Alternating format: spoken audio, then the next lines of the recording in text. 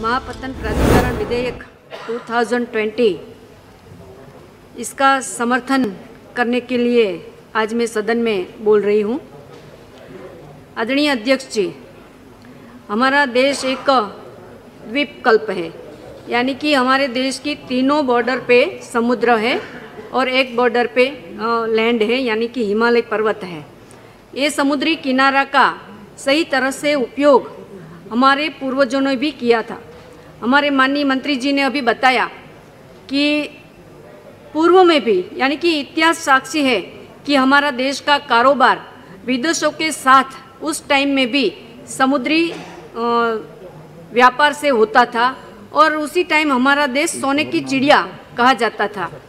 लेकिन जैसे कि बताया गया, हमारे देश पर विदेशी आक्रमण होते रहे, हम गुलामी की स्थिति में आ गए और हमारे ये जो पोर्ट या तो हमारा जो ये समुद्री व्यापार था, उन पे बहुत ही गंभीर असर पड़ा और धीरे धीरे हमारे पोर्ट ये ध्वस्त होते रहे, नाश होते रहे और इसी तरह हमारा देश गुलामी की अवस्था में आ गया।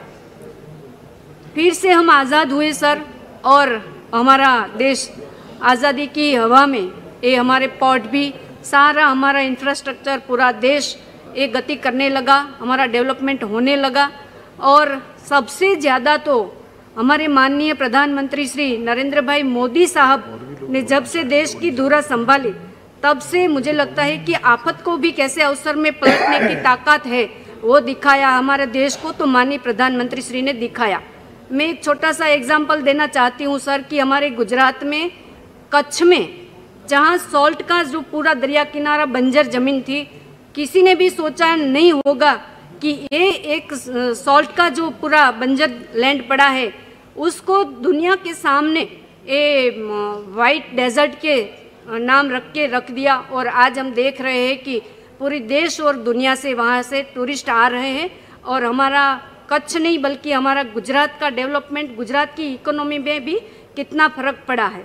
सर, वैसे तो मैं भावनगर से आती हूँ, गुजरात भावनगर से आती हूँ और हमारा भावनगर और मेरी कॉन्स्टिटेंसी पूरी कोस्टल है इतिहास साक्षी है कि हमारा घोघा बंदर जो है वो वहाँ से बहुत बड़ा कारोबार होता था और हमारी गुजराती में एक कहावत भी है લંકાની લાડી અને ઘોઘાનો વર यानी कि मतलब कि हमारा सामुद्रिक संबंध कितने अच्छे थे और हमारा व्यापार कैसे चल रहा था ये कहावत से हम सोच सकते हैं यही घोघा बंदर में आज हमारे माननीय प्रधानमंत्री श्री नरेंद्र भाई मोदी जी का जो विजन था घोघा दहेज, रोरो फेरी फेरी और रोरो पैक्स सर्विस भी चालू हुई है।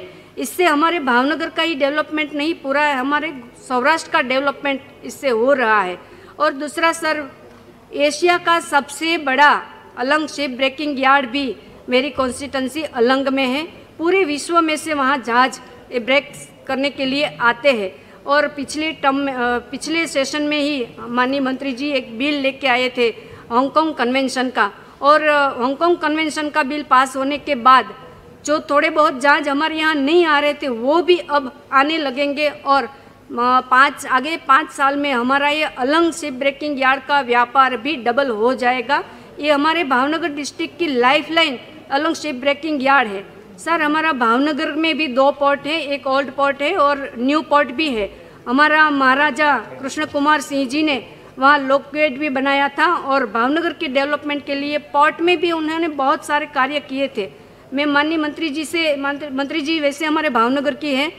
एक सदन के सामने आज खुले दिल से एक बात मैं रखना चाहती हूँ कि हमारे भावनगर के लोगों ने एक डिमांड रखी थी कि हमारा भावनगर का जो पोर्ट है, उनके लिए कुछ किया जाए, डेवलपमेंट किया जाए। बहुत कार्गो तो वहाँ हैंडल होता है, लेकिन कुछ डेवलपमेंट किया जाए।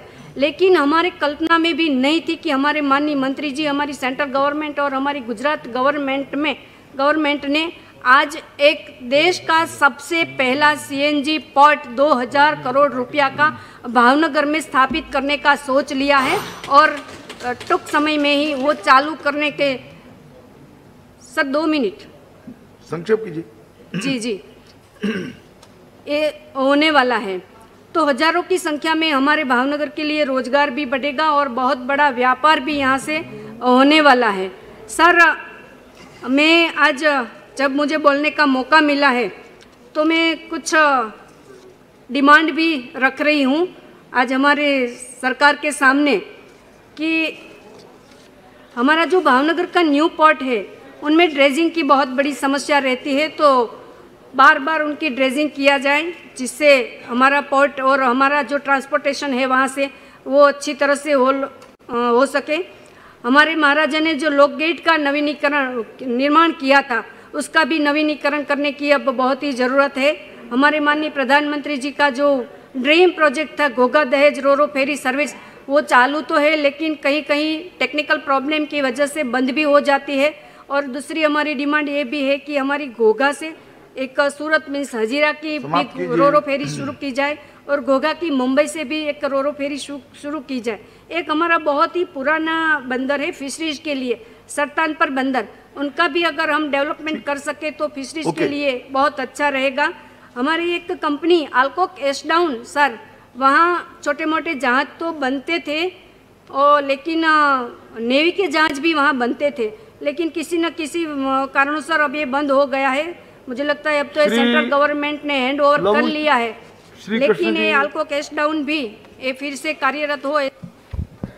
कृपया संक्षेप में बोलिएगा समय कम। Sir three minutes three two four minute minutes